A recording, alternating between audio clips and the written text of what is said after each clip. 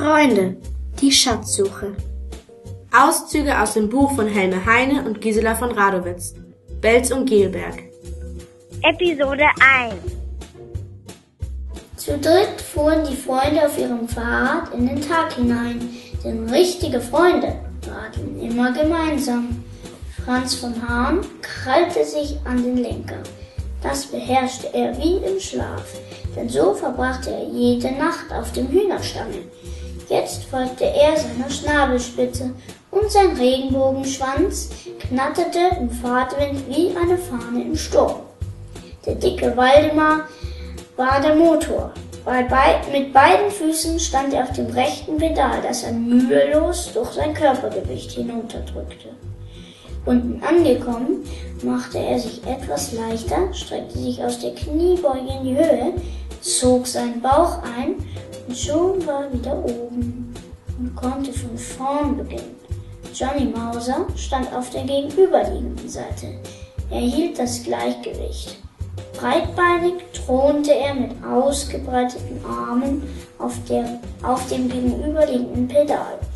In den Rechtskurven, wenn die Reifen quietschten, dehnte er sich weit hinaus.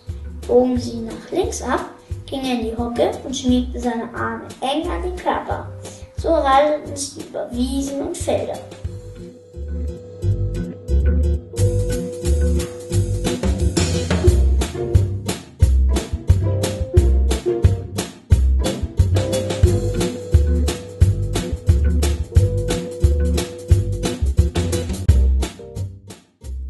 Weg war ihnen zu steinig, keine Abwand zu steil, keine Pfütze zu tief, keine Kurve zu scharf. Verschwitzt erreichten sie den Dorfteich und sprangen in ihr Piratenschiff Ahoi. Johnny war der Kapitän, er kannte jeden Felsen im Wasser, der ihnen gefährlich werden konnte. Franz war das Siegel, er stellte sich auf den abgebrochenen Mast in der Mitte des Bootes, öffnete seine Flügel und nutzte jedes Lüftchen. Der dicke Waldemar war das Kiesschwein, er machte sich auf den Schiffsplanken bequem, lehnte den Kopf an die Ruderbank und hängte einen Arm lässig über die Reling ins Wasser. Man konnte glauben, dass er sich von der anstrengenden Fahrradfahrt ausruhen musste, aber das täuschte.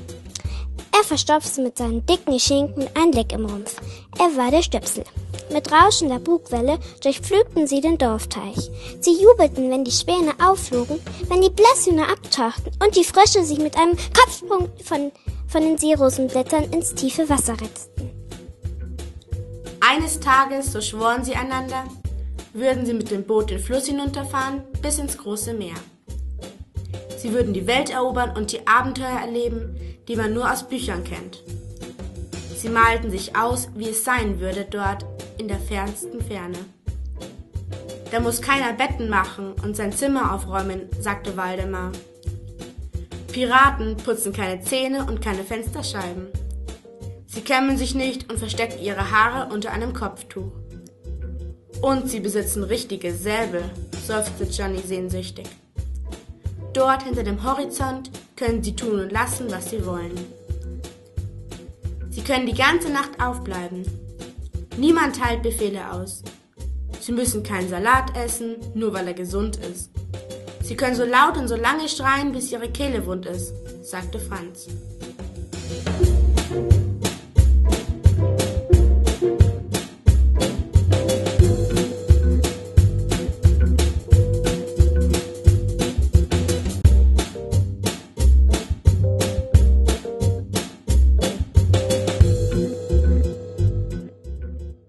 Selten waren sich die drei Freunde so einig wie heute.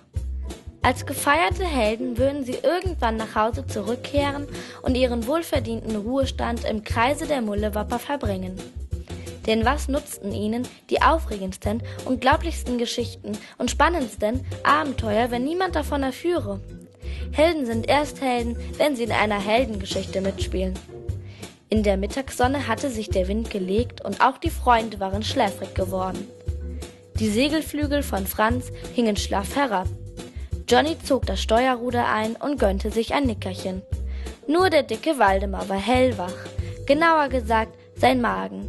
Wenn du mich liebst, meldete der Bauch dem Kopf, dann gönnst du mir jetzt die Melone, die ihr mitgenommen habt. Doch die lag im hinteren Teil des Bootes unter der Ruderbank. Waldemar hätte aufstehen müssen, um sie zu holen, aber ohne Stöpsel würde das Boot untergehen. Franz und Johnny wollte er nicht wecken. Schließlich waren sie Freunde, und richtige Freunde reißt man nicht mir nichts, dir nichts aus dem Schlaf. Tief unter dem Kiel des Bootes, auf dem Grund des Dorfteiches, lag ein riesiger Hecht auf der Lauer. Die Strahlen der Sonne überwinden mühelos Millionen von Kilometer bis zur Erde, aber im Wasser geht ihnen schon nach wenigen Metern das Licht aus. So herrscht dort unten ewige Finsternis, die Tatsache kam den räuberischen Hecht zugute. Bewegungslos lag er da wie ein toter Ast und wartete auf ein Opfer, das dicht an seiner Nase vorbeischwimmen würde. Heute schien er Glück zu haben. Er spürte, dass ein großer Fisch sich näherte. Er konnte ihn nicht sehen, aber an der Art, wie er an den Algen herummümmelte, erkannte der Hecht, dass es ein Karpfen war. Eine Forelle oder ein Zander würde zuschnappen sein Mal so hastig herunterschlucken, wie jeder Raubfisch es tat. Ein Karpfen aber nimmt sich Zeit beim Essen, wie alle Vegetarier. Er kostet hier und da, spuckt es wieder aus, nascht erneut. Schrecklich, dachte Hecht. Wenn ich so wäre wie der, wäre ich schon längst verhungert. Sein Festmahl kam langsam näher. Es ein großer Spiegelkarpfen. Spiegelkarpfen schmeckten ein wenig nach Schlamm, aber wer seit zwei Wochen nichts gegessen hat, ist nicht wählerisch. Endlich war das Opfer in Reichweite. Mit einem gewaltigen Schwanzschlag schoss der Hecht aus der Deckung und riss das Maul weit auf, um seine nadelspitzen Zähne in das bemooste Schuppenkleid des Karpfens zu schlagen. Doch eine Plastiktüte, die zwischen ihnen im Wasser schwebte, verhinderte den Mordanschlag. Eine wilde Verfolgungsjagd begann. Der Hecht war ein geborener Sprinter.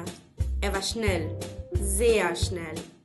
Aber der alte Karpfen, der sich eher für den Marathon eignete, wich ihm immer wieder so geschickt aus, dass der Hecht weit übers Ziel hinausschoss und ehe er beidrehen konnte, hatte der Karpfen etliche Meter Vorsprung gewonnen. Das ging eine Zeit lang gut, doch dann hatte er keine Puste mehr. Mit einem Verzweiflungssprung katapultierte er sich durch die Wasseroberfläche und plumpste in das Segelboot der Freunde, wo er erschöpft liegen blieb.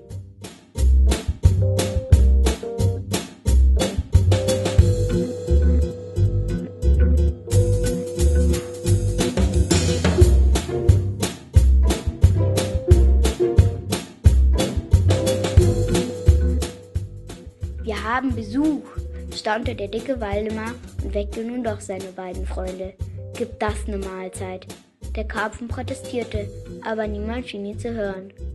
Unter Wasser hat ihn jeder verstanden, aber hier oben war er stumm wie ein Fisch, was er ja auch war.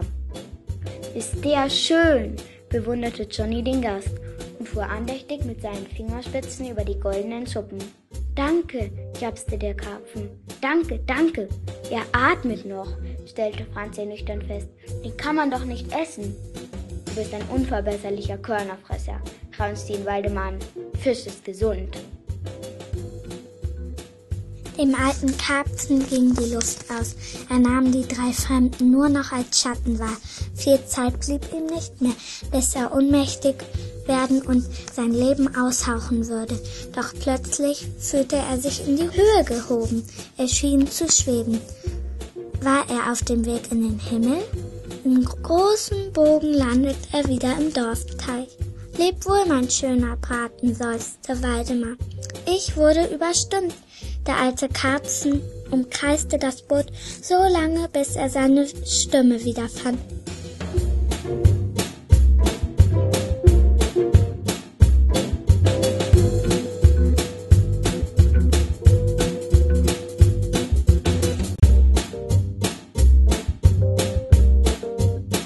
Das werde ich euch nie vergessen, blubberte er dankbar. Er riss sein Maul auf, spuckte eine Flasche aus und verschwand in der Tiefe.